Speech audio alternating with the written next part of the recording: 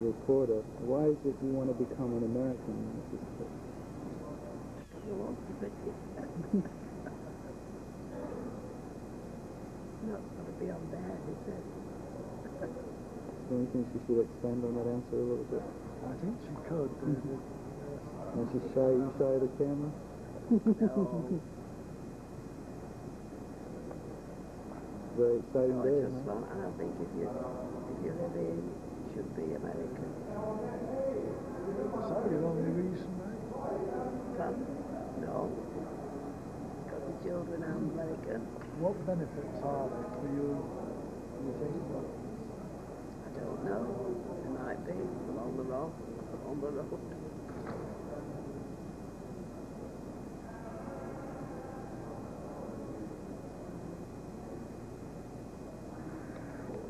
Can't you remember what we do? Well, when I had it done, it was 20 years ago. Oh. As I recall, the judge just gives a speech of some kind, and then asks everybody to stand and take an oath of allegiance to the United States, Oh, all jointly together. Yeah, it's very straightforward. and I, but I always do, what I do remember of the ceremony is that uh,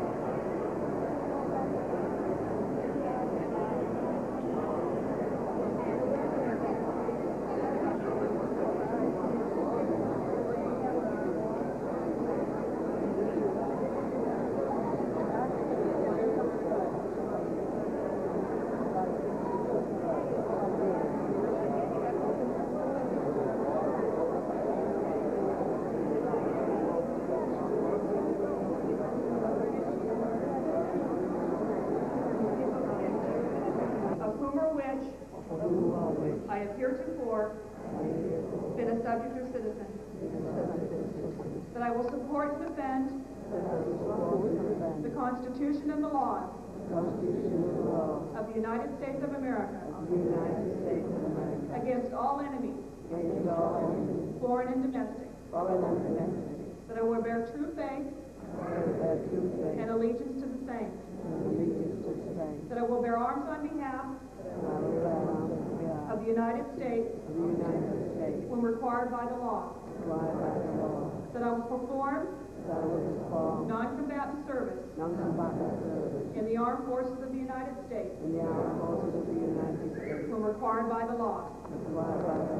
That I will perform work of national importance under civilian direction when required by the law.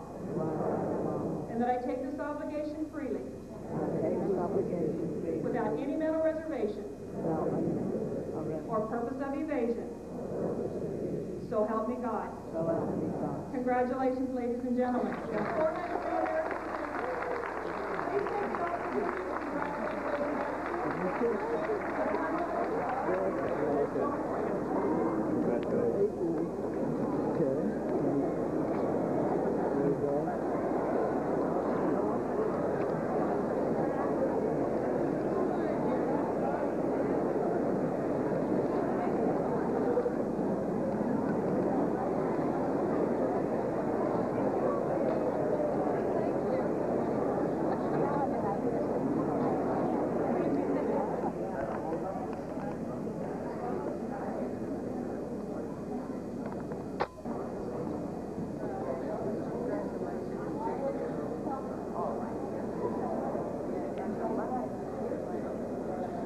Doreen Parker Hill, Linda May Miller, Maria Araico, Leslie Burke Wentz,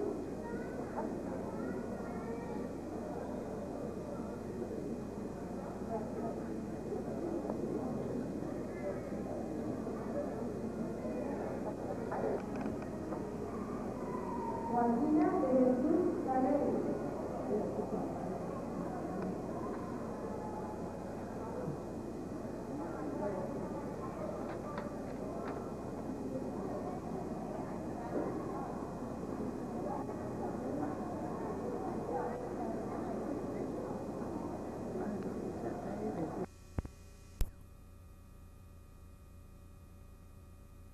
Now we're on record. Okay, so, yeah.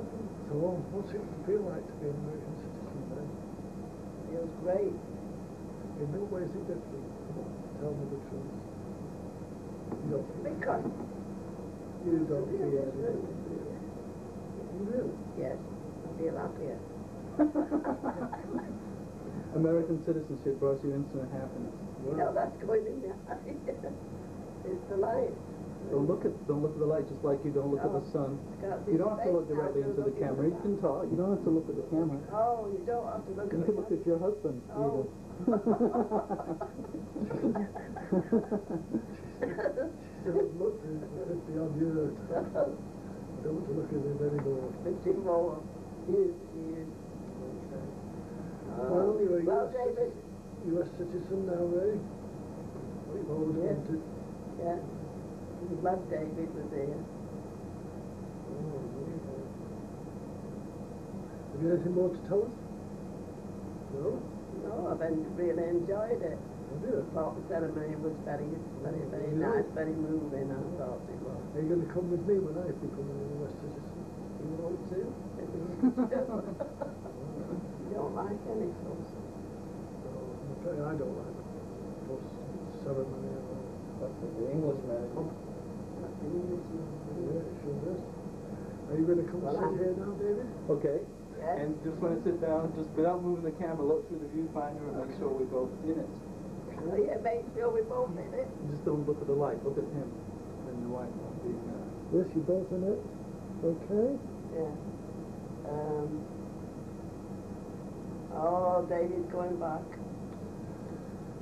Yes, Dave. See him then. David's going back to jolly old DC.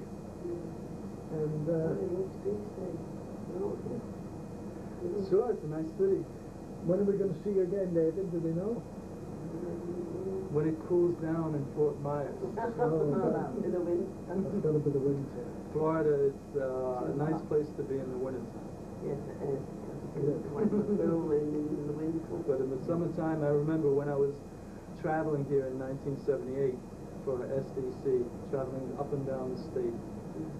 And I remember it being incredibly hot, and everywhere I went, I had dentists and uh, doctors' receptionists yelling at me because they'd not been paid for their Medicare payments. So I had to face the hot weather and irate audiences all over the state. The situation's not a lot It's not today. It's not changed. And SDC always had a policy of paying nursing homes first because they had political clout in the state legislature, whereas individual doctors and dentists did not. So if there was any kind of billing problems and money problems, the nursing homes always got, got paid first. Yeah, you used to do that, didn't you? That was a long while ago, SDC, wasn't it? Mm-hmm. We have to get your mother an ID now, don't we? Yes. And a frame, a frame for, for the, I want a frame and I want that other one on the wall of David. I've got two in the bedroom. Yes. Did, I, did I say one was difficult to put up because of the frame? Yes. But I can go on that wall. This is by the frame, that's pretty easy. No, you don't have to buy another frame. Okay, okay.